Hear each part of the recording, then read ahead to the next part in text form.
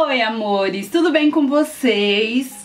Bom, gente, como vocês viram pelo título, resolvi fazer Uh, dar uma segunda chance pros produtinhos da Bia. Na verdade, assim, gente, uh, muitas pessoas me interpretaram muito errado no outro vídeo, mas o que eu quis dizer no outro vídeo é que eu apenas não gostei da sombra, da paletinha de sombra, e vocês disseram pra eu usar dos outros jeitos, tentar de outra forma, me esculacharam, acabaram com a minha raça, e aí eu sei que vocês viram bastante o vídeo e eu vou tentar fazer uh, de outra forma maquiagem. Naquele vídeo eu comecei, eu fiz minha pele toda, depois eu fui pra maquiagem dos olhos. Nesse não, nesse eu vou começar pelos olhos e depois eu vou pro rosto. Uh, naquele vídeo eu falei que eu gostava, gostei bastante do contorno, gostei do, do blush, eu achei eles bem forte. Uh, eu falei que gostei de tudo, só falei que eu gostei, que eu não tinha gostado muito da da, da paleta de sombra. De resto, gente, eu falei que os tons, talvez, pra pele mais escura, pele negra, pele retinta, talvez não, não seja bom, sabe? Talvez não, não é um tom que ideal pra poder quem tem pele negra. E é só isso que eu falei, né? Mas a, a qualidade dos produtos são excelentes. De qualquer forma, eu tentarei, darei uma outra chance pros produtinhos da Bia. Um, e é isso, vamos lá, ver se eu consigo fazer uma make com a paletinha dela, que eu acho que é pra mim, foi a, a paleta que mais me deixou irritada, porque eu realmente não consegui produzir bem com a paleta, mas tentarei de novo hoje.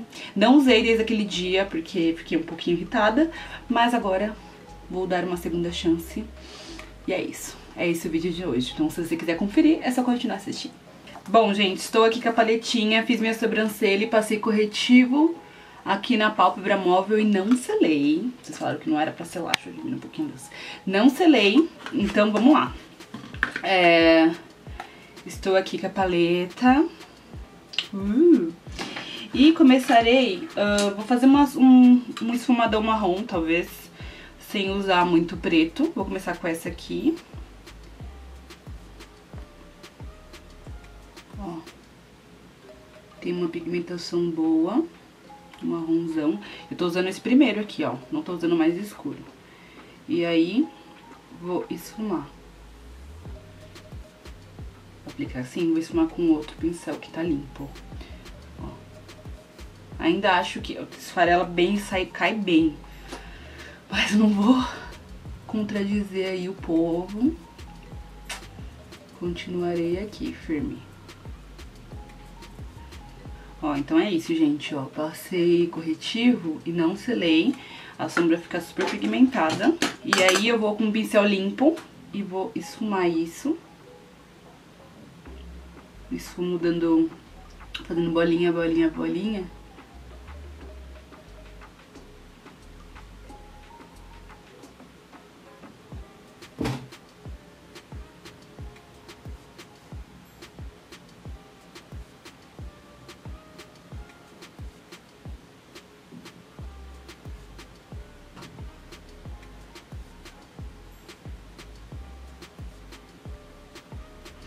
É facinho de somar, subiu bem assim, mesmo com o corretivo.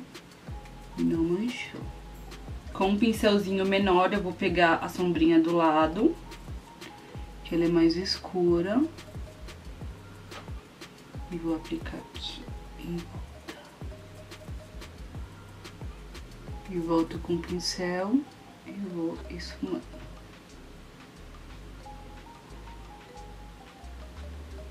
Só que essa sombra mais escura eu tento esfumar num lugar e não subir tanto pra poder não apagar tanto a outra. Ó, lembrando que eu não passei nada na pele, tá? Um, tá tudo do jeitinho que é mesmo. Hoje eu não tô afim de, de usar a sombra preta, então eu acho que é isso que eu vou fazer. Aí, o que, que eu vou fazer pra diferenciar um pouco pra diferenciar um pouquinho da outra, eu vou pegar uh, meu corretivo da MAC e vou aplicar aqui e aqui e vou fazer um cut. Cara de brava pra carimbar, ó. Melhor, eu vou pegar o corretivo da Bruna, que ele é branco. Aqui, ó. Só pra fazer um, um cut mais... Peguei só um pouquinho mais clarinho. Aí eu vou pegando o, o pincel e arrumando. Aí eu vou pegar o dedo anelar, que ele é mais fraquinho. Que não tem tanta força. E aí eu vou espumar trazendo pra cá. Aí que eu vou fazer? Vou pegar o rosinha daqui e eu vou aplicar aqui. Fazer uma transiçãozinha aqui no meio. E vou pegar esse aqui que é o mais douradinho assim, parece um iluminador. E vou aplicar aqui no início. Vou voltar com o pincel que a gente aplicou a sombra mais escura. Não tô pegando mais sombra, só tô passando o pincel mesmo, ó. Que o pincel já tá sujo. Aí eu vou voltar com o pincel de esfumar e dar uma esfumadinha nisso. Aí, gente, pra dar um brilhinho a mais, porque assim, não sei se eu gosto muito desse tomzinho de rosa, eu vou dar um brilhinho a mais com o iluminador dela aqui no início. Que ele vai dar uma destacada aqui nesse... Nesse começo aqui. Vou aproveitar e vou iluminar aqui. Mas depois a gente dá uma retocadinha quando fizermos a... o delineado. Ó, e aí, gente, construiu uma make totalmente diferente da que a gente fez. E eu gostei do resultado, achei bem, bem bonito. Agora vamos pro delineador, que é o meu gatinho.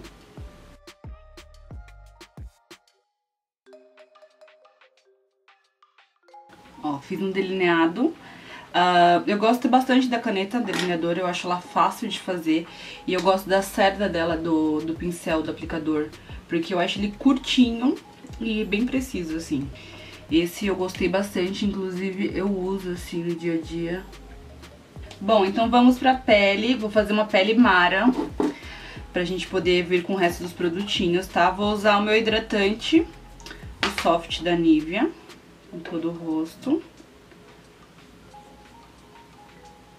Vou usar o primer, que é o Time Check Lotion da MAC.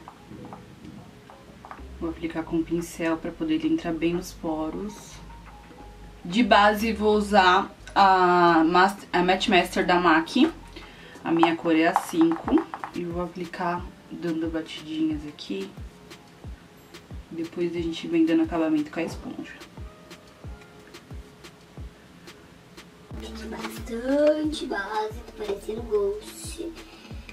Mas vai valer a pena. Aí eu vou com a esponjinha e dou batidinhas, essa esponjinha da Mari Saad.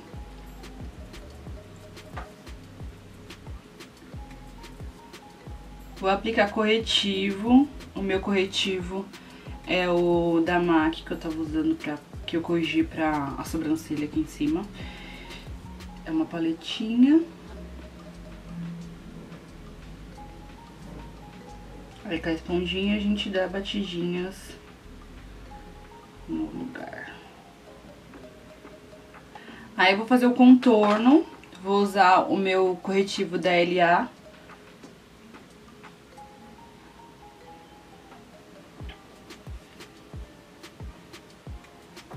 Agora eu vou aplicar o pó banana da Bruna Tavares aqui na região das olheiras.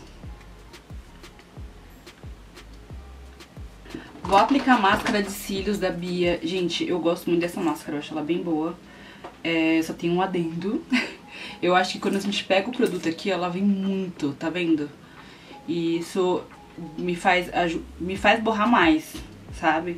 Então às vezes eu venho com ela e vou penteando com uma máscara sem nada, assim, sabe? Porque aí eu acho que eu consigo arrumar mais meus cílios. Mas é assim, ó. Eu colocar o cílio fica enorme, gente. Ela tem um, um, uma, um formato que deixa meus cílios imensos. Eu só vou aplicar porque depois eu vou colocar, colocar cílios postiços. Eu não vou passar aqui embaixo uh, nada, assim, de sombra. Só vou, vou passar máscara. porque um estilo, eu gosto muito desse estilo de, de maquiagem que só fica assim na parte de cima. E aí eu vou aplicar só a máscara, vou, vou aplicar depois, senão eu vou borrar tudo. Que ainda vou tirar esse excesso aqui. Vou colocar os cílios postiços, esse meu modelo aqui é da My Store Delivery. É o modelo Carol. Os cílios é outra história. Gostei bastante da make, achei que ficou bem bonito aqui, ó. Esse comecinho ficou bem chique. E aí, o que a gente vai fazer? Eu vou contornar o meu nariz antes que a gente tire esse pozinho clarinho. Eu uso o Bahama Mama pra contornar, pra quem acompanha sabe. E aí eu passo em cima da onde a gente passou o contorno. E eu sempre aplico aqui, ó. Aí com o pincel que a gente vai tirar, que é esse pincelzinho aqui, ó, eu vou tirar o excesso aqui da, do pó da Bruna Tavares. E esse excesso eu vou arrastar pro nariz. Eu arrasto pra cá pro nariz, que ele já ajuda a esfumar tudo isso. E o resto eu passo no resto do rosto. Aí aqui, ó, por causa do corretivo, ficou um pouquinho marcado. Aí eu só vou vir dando o toquezinho aqui, ó. Gostei bastante dessa, dessa make, gente. Aí eu vou aplicar a máscara aqui embaixo, ó, tirando o excesso, porque embaixo eu, eu tenho tendência muito de me borrar, assim. Porque ela é muito grande, sério, esse, essa cerda aqui. Passei embaixo. Agora vamos pro contorno. Uh, só fiz no nariz usando o meu Bahama Mama, mas o resto do rosto vou aplicar o da Bia, que é o Copacabana. Eu falei, gente, porque meus cílios de baixo ele é grande. E já grudou aqui, ó. ele deixa os cílios muito compridos. Aí eu vou usar primeiro esse aqui, que ele é mais acinzentado. E vou aplicar... Eu gosto de aplicar aqui. E é, tipo assim, muito pigmentado. Então você tem que aplicar e com a mão bem leve. Não pode marcar bem, sabe? Aí aqui eu gosto da batidinha, porque aí eu vou arrastando pra raiz do cabelo. Aí eu vou pegar esses dois aqui, vou misturar um pouquinho e vou fazer mais em cima, porque eles são mais quentes. Meu Deus, eu esqueci quanto é forte. Aí eu vou pegar o pincelzinho de, de pó e vou esfumar isso aqui. Aí vamos pro blush, que é o carinha de metida, que é assim, maravilhoso. E eu vou usar o blush que é o meu favorito, que é esse aqui, que ele tem uns brilhinhos. Ele é lindo, gente. Aí eu pego ele, ó, ele pigmenta bem no pincel. Tiro excesso e vou batendo e sumando com o resto. Aí agora eu vou aplicar uh, o Fix Plus. Ele vai ajudar a deixar tudo no lugar e deixar o iluminador assim, gente, sensacional. Aí eu vou pegar o iluminador enquanto tá molhado ainda. E vou pegar o mais clarinho e vou aplicar aqui, ó. E vou até aqui embaixo, ó. Aqui e aqui. E tudo isso com a pele secando. A gente tem que esperar a pele secar, tá? De batom eu vou usar o Boca Rosa Maravilha, que eu acho que é o meu favorito, que é um rosão bem forte. Aí agora eu vou aplicar o iluminador, que eu acho que é o meu produto favorito da Bia, que eu acho que é o melhor. é o iluminador. E vou aplicar só esse aqui do meio, porque ele é o mais dourado. Eu acho que combina mais com a minha pele. Se bem que isso aqui ainda não secou, gente. Espera secar, vamos secar tudo. Vamos aplicar o iluminador, que pra mim é o meu produto favorito da Bia, que eu acho que é o melhor, assim, que mais brilha, fica fininho na pele.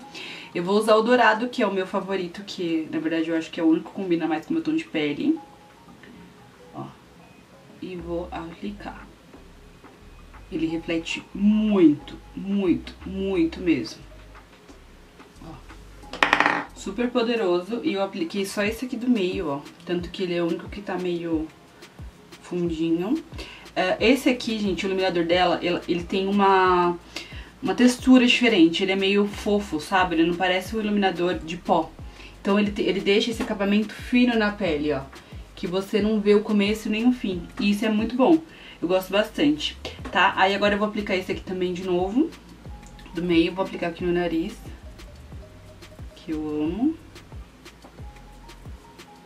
E esse foi o resultado da maquiagem, gente. Eu dei uma segunda chance pros produtinhos da Bia. Na verdade, o que eu queria falar pra vocês é o seguinte. Eu amei os produtos da Bia. A única coisa que eu não realmente não consegui gostar e me identificar foi com a paletinha bem basiquinha. Que é essa paleta aqui que esse, esses tons, talvez, eu não sei se... eu Se bem que nessa maquiagem eu gostei bastante, mas eu acho que são tons difíceis de combinar, sabe? E de combinar, assim, de sei lá, você investir seu dinheiro, que tem várias paletinhas que são baratinhas, que vale super a pena, que eu acho que dá pra você usar mais, mais cores e não ter essa sujeira toda, tá? Ah, sobre os produtos de pele, o blush e o contorno eu gosto bastante, tá? Eu achei eles maravilhosos. Eu só acho eles super pigmentados, o que não é ruim. Só que assim, pra quem não sabe muito se maquiar, talvez se colocar assim, talvez tenha dificuldade para esfumar. Então assim, tem que ter um, um, um, toda uma malemolência pra poder você conseguir dar jeito no, no contorno e no blush, tá? Eu acho que talvez um pouquinho menos forte seria melhor. Uh, sobre o iluminador, não tenho o que falar, eu amo, eu acho ele maravilhoso, olha como ele fica assim, gente, ele ilumina de verdade. Eu só acho que talvez deveria, nos próximos que ela trazer, é, ter tons um pouquinho mais puxado pro dourado, tá vendo? Ele, ele branquiça muito. E eu gosto de da minha pele ser um pouquinho mais pro dourado. E pra pele negra, retinta também, eu acho que tem que ser um pouco mais dourado, um pouco mais rose gold, que é puxando um pouquinho mais pro, pro rosa, né? Enfim, é, essas são as minhas considerações. Sobre o batom, gente, o batom da Bia eu amo usar no dia a dia, porque ele não sai por nada, de verdade. Eu só acho ele muito peguento. Ó, entendeu? Só por isso. Com relação a sair na night, beijar, entendeu? Beijar, o, vou beijar o Bruno, ele a gente beija, demora pra sair, mas no dia a dia ele é um dos meus favoritos pra usar, porque ele realmente não sai e deixa a textura muito boa na boca, pelo menos comigo. Algumas seguidoras compartilharam comigo que com elas não funcionou, que não rolou e que elas preferem batom mais sequinho. Mas aí vai de jeito. A máscara de cílios é, assim, muito boa. Sério, meus cílios ficam imensos com ela, eu gosto bastante. É, eu só acho isso, que ela sai muito no pincel e ajuda a borrar um pouco embaixo, assim. Mas nada demais, gente, um contorno mais fino já ajuda a resolver. E é isso, assim, eu tô, eu falei a minha, eu fui sincera no vídeo, falei a minha opinião, a minha primeira impressão usando os produtos, foi a minha primeira impressão, tá? Mas assim, nada que não dê pra usar, eu só acho que a gente tem que, eu tô aqui no YouTube pra poder passar a verdade pra vocês e mostrar pra vocês o que realmente vale e o que não vale a pena vocês comprarem, tá?